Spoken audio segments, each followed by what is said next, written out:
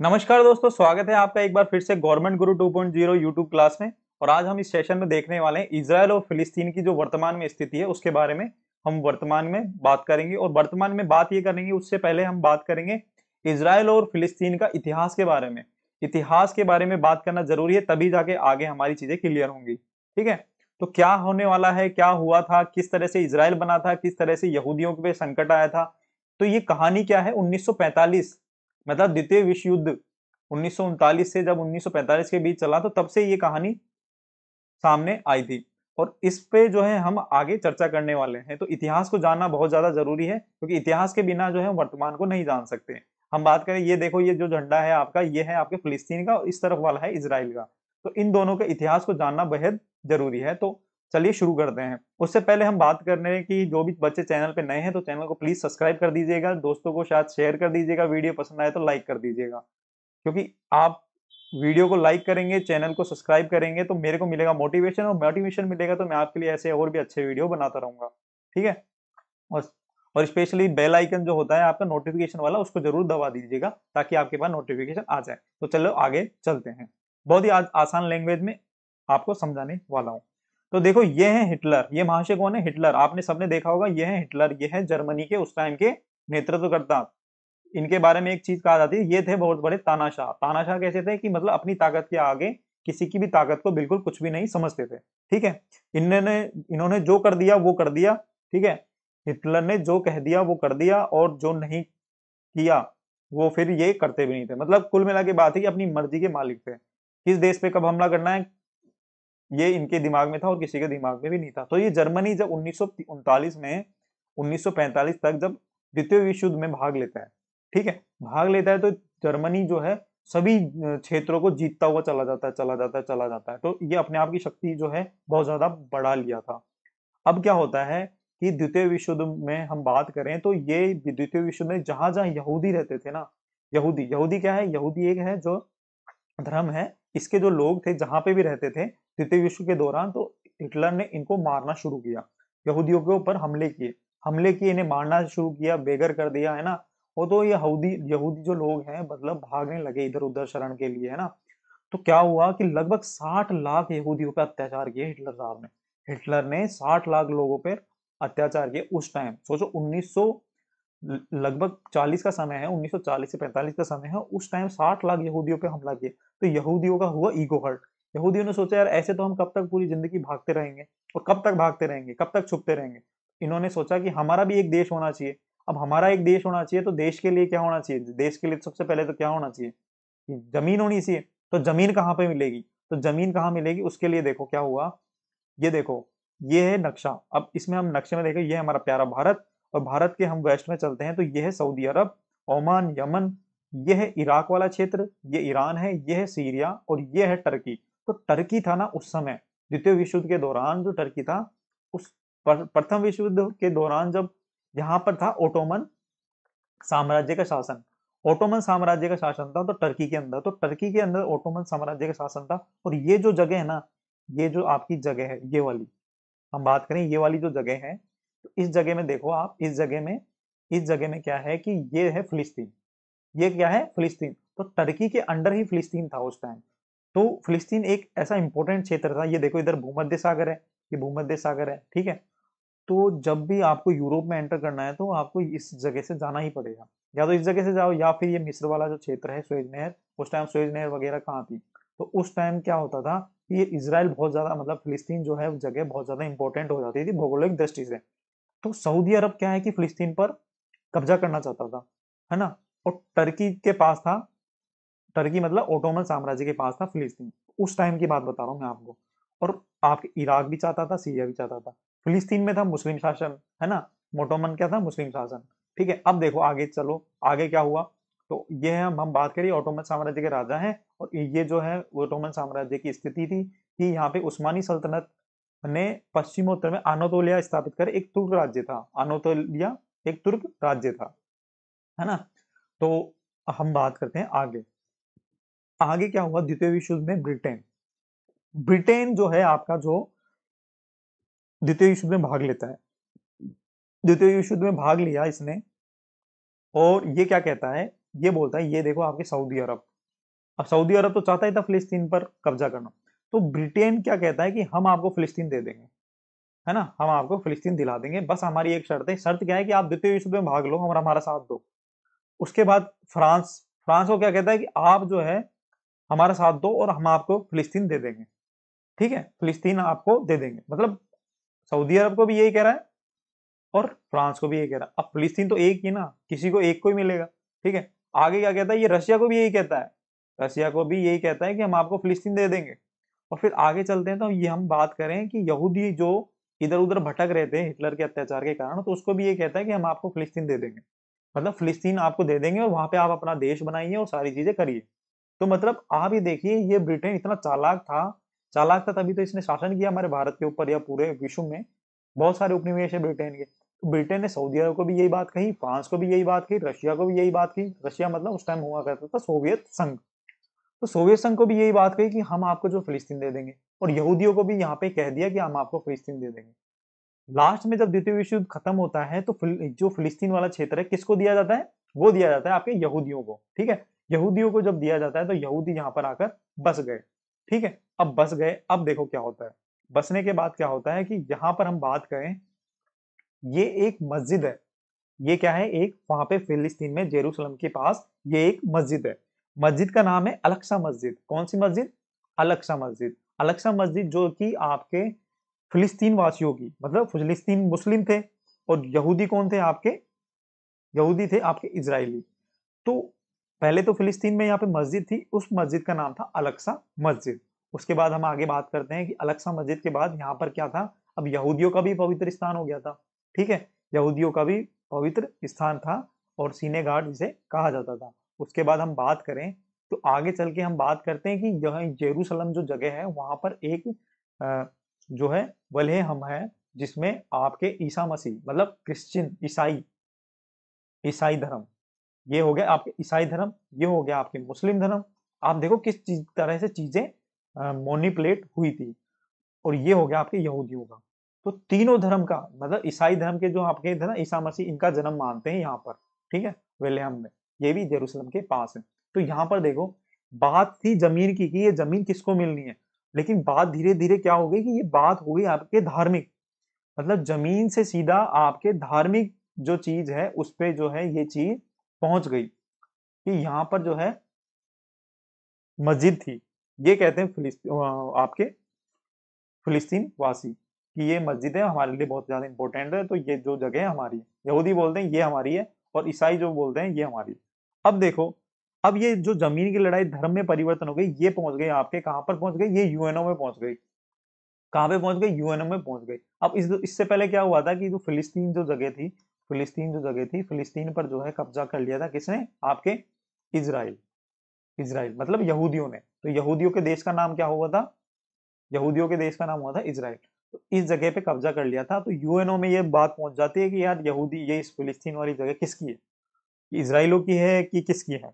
अब देखो क्या होता है कि यूएनओ ने बोल दिया कि इक्यावन परसेंट जो उस समय जो था, वो था इसराइल के पास।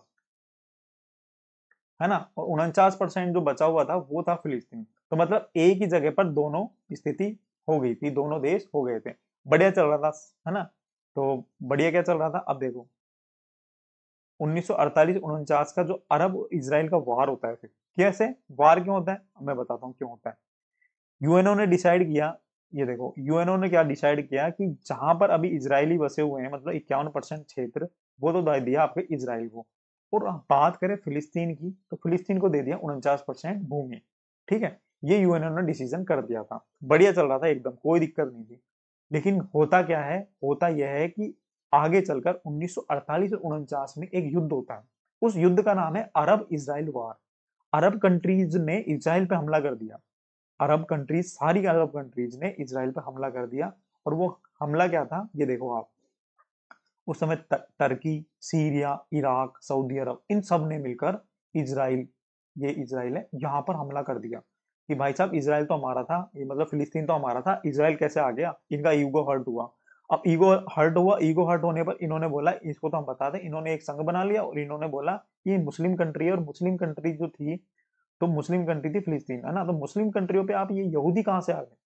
इसलिए इन्होंने हमला कर दिया। अब हमला कर दिया मेन रीजन तो क्या था? मेन रीजन तो यही था कि फिलिस्तीन पर जो है कब्जा करना चाहते थे सारे मिलकर। ठीक है? सारे मिलकर कब्जा करने चाहते थे और इसराइल को ये भगाना चाहते थे मतलब यहूदियों को भगाना चाहते थे। लेकिन लेकिन क्या हुआ? इसराइल था बहुत सक्षम। इसराइल था, सक्षम था और सक्षम था इसना इसराइल ने इनको बहुत बुरी तरीके से हराया। इसराइल ने इन सभी कंट्री को बहुत बुरी तरीके से हराया और ये युद्ध इसराइल जीत जाता है। अब भाई साहब, ये युद्ध जब इसराइल जीत गया ना तो जहाँ इक्यावन परसेंट भाग पर आपके इसराइल का कब्जा था, वहाँ आगे चलकर हम देखेंगे 2020 में चौरासी परसेंट क्षेत्र पर इसराइल का कब्जा हो जाता है। मतलब इक्यावन परसेंट से सीधा चौरासी परसेंट मतलब पूरा वो जो क्षेत्र था, वो जो ज़मीन थी, वो इसराइल के कब्जे में आ जाती है। ये देखो। फिलिस्तीन ने क्या किया? हम बात करते हैं। ये पूरा फिलिस्तीन, ग्रीन कलर में दिख रहा है, आपको फिलिस्तीन था, ठीक है? उसके बाद उन्नीस में, जैसे मैं बता रहा था तो यहाँ पर जो है इसराइल आ गया अब ये जो ग्रीन कलर का रह गया, ये रह गया फिलिस्तीन वाला क्षेत्र, ठीक है? ये रह गया आपके फिलिस्तीन वाला क्षेत्र। धीरे धीरे देखो, दो उन्नीस के दौरान ये फिलिस्तीन वाला क्षेत्र ये वाला रह जाता है। ये है आपके वेस्ट बैंक वाला क्षेत्र और ये है आपके गाजा पट्टी। और 2020 में आते आते तो ये देखो वेस्ट बैंक के अंदर अंदर आप ये देखो, छिद्रित अवस्था में कर दिया किसको? किसको कर दिया छिद्रित अवस्था में? मतलब इसराइल ने इतने हमले करे हैं कि धीरे धीरे ये जो है ज़मीन इसराइल के पास आने लग गई और फिलिस्तीन वासी देखो कितने कम हो गए। मतलब पंद्रह परसेंट क्षेत्र पर ही आपके फिलिस्तीन वासी के पास बच गया। इसराइल ने पूरा जो ये क्षेत्र था अपने अंडर में ले लिया, अपने कब्जे में कर लिया। ठीक है? अब क्या होता है कि, अब क्या होता है कि ये जो गाजा पट्टी है, अब वर्तमान में क्या है यही ये वाला क्षेत्र, देखो। ये वाला जो क्षेत्र है, इसको हम दे देते हैं ए। और ये वाला जो गाजा पट्टी वाला क्षेत्र है, इसको हम दे देते हैं बी नाम। तो ए और बी ठीक है, ये जो क्षेत्र था, ये था वर्तमान में फिलिस्तीन के पास, ठीक है, फिलिस्तीन के पास था। अब इसराइल बहुत ज़्यादा हथियारों से सक्षम हो गया था, ठीक है, क्योंकि इसराइल को सपोर्ट था अमेरिका का। किसका सपोर्ट था? अमेरिका का। यूएसए क्या है कि अमेरिका ने इसराइल को सपोर्ट किया हमेशा। क्यों किया है? क्योंकि वो अरब में इंटरफेयर करना चाहता था, अरब कंट्रीज़ में।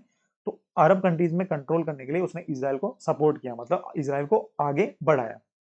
ठीक है? अब आगे बढ़ाया अब इसराइल क्या करता है? इसराइल ऐसे काम करता है, जैसे मान लो फिलिस्तीन बैठा हुआ है यहाँ पे चुपचाप। फिलिस्तीन बोल रहा है, यार, जो है वही उसी में सब्र करना पड़ेगा।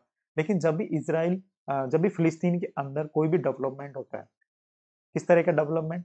मतलब जैसे मान लो कोई पुल बन रहा है, या कोई एजुकेशन के लिए कोई काम हो रहा है, या फिर हम बात करें, या किसी और दूसरी चीज़ के लिए काम हो रहा है मतलब आधारभूत ढांचा विकसित हो रहा है तो क्या करता है? इसराइल कुछ ऐसी हरकतें करता है कि इसको आ जाता है गुस्सा। इसका हो जाता है ईगो हर्ट है ना? वो जयकांत शिकरे वाला डायलॉग है कुछ भी करने था, कुछ भी करने का था सिंगम पर जयकांत शिकरे का ईगो हर्ट नहीं करने का था। तो इसराइल वाले जो हैं, इनको उकसाते हैं। इनको उकसाते हैं, है ना? उकसाते हैं तो फिर क्या होता है? उकसाने के बाद क्या होता है? ये ये जो है, गुस्सा हो जाता है और गुस्सा होने के बाद ये है ना छोटे मोटे हमले करते हैं इसराइल के ऊपर। इसराइल चाहता ही है इसराइल तो क्या है कि इसराइल चाहता है कि ये हम पे हमले करें, ये हम पे एक हमला कर दे छोटा सा ये हम पे एक हमला कर दे और हम इन पे दस हमले करेंगे बड़े बड़े ये हम पे एक छोटा हमला करेंगे और हम इन पे दस हमले करेंगे बड़े बड़े ताकि ये फिलिस्तीन वाला जो क्षेत्र जो बचा हुआ है, वो भी हमारे अंडर में आ जाए, ठीक है? यहाँ पे जिससे जो है फिलिस्तीन वासियों को भगा देंगे या मार देंगे। इस तरह से ये काम वर्तमान समय में चल रहा है। अब क्या होता है कि ये जो इसराइल पर हमले कर देना कौन करता है? फिलिस्तीन वासी। तो एक जो है आयरन डोम की कॉन्सेप्ट है यहाँ पे इसराइल में आयरन डोम क्या होता है कि जब भी ये हमले होते हैं जैसे मान लो ये फिलिस्तीन की मिसाइल आई है ना? अब हवा में मिसाइल आई तो इसराइल का ये रडार है ये स, ये रडार है इसको जो है कैप्चर कर लेगा कि यहाँ से जो मिसाइल आने वाली है अब मिसाइल आने आने वाली है तो ये आयरन डोम शील्ड है ये वाली। तो यहाँ से जो ये मिसाइल मान लो एक मिसाइल आई तो ये मिसाइल जो है अपने जो है हवा में बहुत सारे जो है हथियार छोड़ देगी तो ये मिसाइल जो है, इनसे टकरा के जो मिसाइल जो है, हवा में ही नष्ट हो जाएगी। ठीक है? ये होता है आयरन डोम वाला। देखो, ये जो एक कोई मान लो एक मिसाइल आई तो ये बहुत सारे जैसे है ना, हथियार छोड़ेंगे तो वो मिसाइल जो है, मिसाइल जो है, हवा में नष्ट हो जाएगी। इस तरह से इसराइल को तो कोई नुकसान होता नहीं है। नुकसान किसको होता है? फिलिस्तीन को। उनकी एक तो मिसाइल गई, है ना? दूसरी चीज़ क्या पता चल गया कि मिसाइल छोड़ दी। इसराइल का कुछ नुकसान हुआ नहीं। अब इसराइल क्या करता है? ये बदला लेता है। ये क्या लेता है? बदला लेता है फिलिस्तीन से। ये फिलिस्तीन से बदला लेकर और फिलिस्तीन के ऊपर जो है मिसाइल छोड़ता है और मिसाइल छोड़कर ये हाल हो जाता है किसका? आपके फिलिस्तीन वासियों का। अब वर्ल्ड में भी कहने को मिल जाता है, यूएनओ में भी कहने को या अपनी जो है तथ्य रखने को इसराइल के पास आ जाते हैं कि देखो भाई साहब, हमने तो हमला किया नहीं। हमला कर रहे हैं फिलिस्तीन वासी। अब हम हमारी साख तो बचाएँगे। हम हमारे नागरिकों पे हमला कैसे होने देंगे? हम हमारे देश पे कैसे हमला होने देंगे? ठीक है? तो ये फिर चार हमले और करते हैं, दस हमले करते हैं ना, और फिलिस्तीन को खत्म करने की कोशिश करते हैं। ये आयरन डोम समझ गए कि हवा में जो है मिसाइल को मार दिया जाता है, कोई से भी देश की मिसाइल अगर इसराइल पर आती है। ठीक है? तो उसके बाद क्या है इसराइल ने एक संगठन बनाया मतलब एक संगठन बनाया और ये संगठन बनाया था खत्म करने के लिए किसको? आपके फिलिस्तीन को। लेकिन ये संगठन उल्टा जो है आपके इसराइल के ऊपर हमला करने लग गया। अब ये संगठन का नाम था हमास।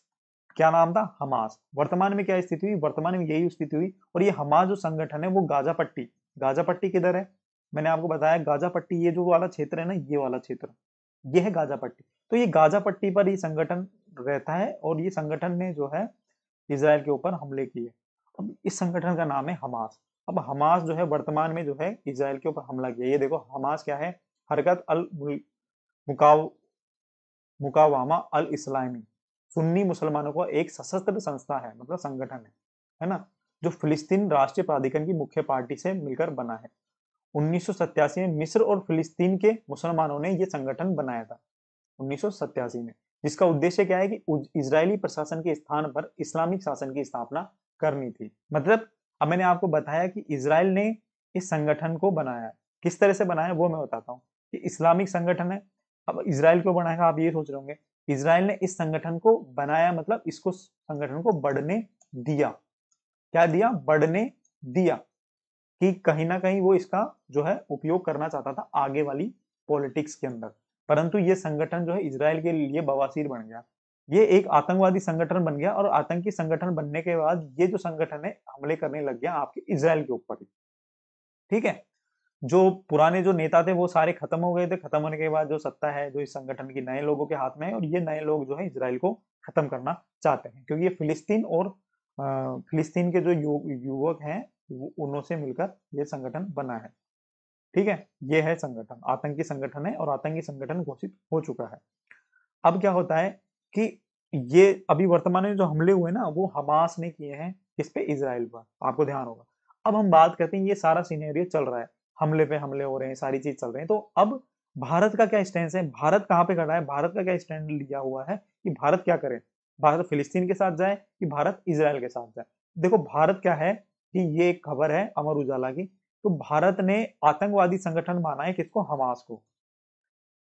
ठीक है? क्योंकि भारत के, आप ये देखो, भारत के एक तरफ़ अगर ये इजराइल का साथ दे देता है, मान लो अगर खुले में इसराइल का साथ दे देता है है ना? कि हाँ इजराइल जो है सही कर रहा है। तो एक तरह से हमारा जो जम्मू कश्मीर में पीओके वाला क्षेत्र है, वो भी तो आपके कश्मीर पाकिस्तान ने ऑक्यूपाइड कर रखा है। तो वैश्विक पटल पर ये वाला सवाल खड़ा हो जाएगा कि फिर जम्मू कश्मीर में पाकिस्तान ने जो कब्जा कर रखा है, वो भी सही है, ठीक है? तो इसलिए भारत जो है, इसका रास्ता ये निकाला है कि आतंकवादी जो संगठन है ना, वो है आपका हमास। अब जो हमास अगर आतंकवादी संगठन, आतंकवादी हमला अगर किसी देश के ऊपर होता है तो वो देश जो है अपनी रक्षा के लिए उस आतंकवादी संगठन को खत्म करने के लिए तत्पर रहेगा।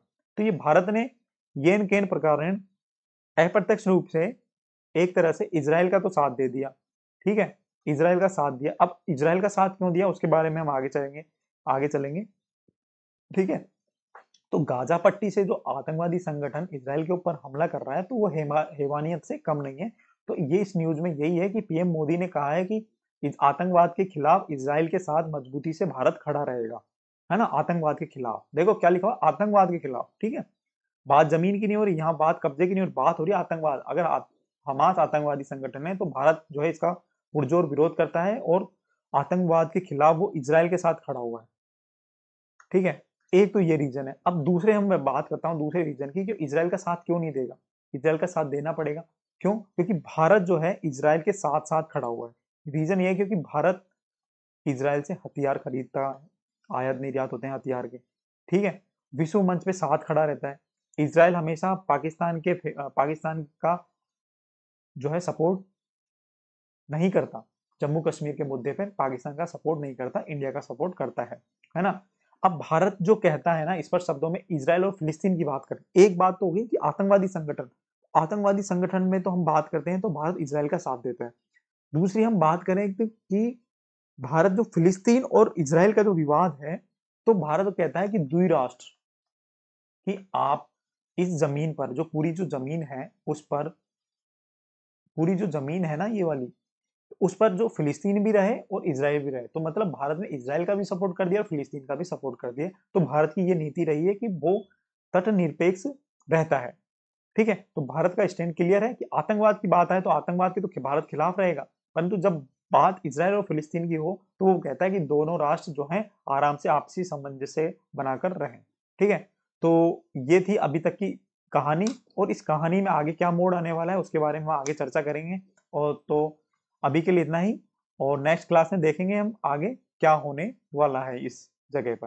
ठीक है? तो मिलते हैं नेक्स्ट वीडियो में। अभी लिए इतना ही। धन्यवाद। चैनल को ज़रूर सब्सक्राइब कर लेना। दोस्तों दोस्तों के साथ वीडियो को शेयर कर देना। वीडियो पसंद आए तो लाइक कर देना। और बेल आइकन को ज़रूर दबा देना। ठीक है? मिलते हैं नेक्स्ट वीडियो में। धन्यवाद।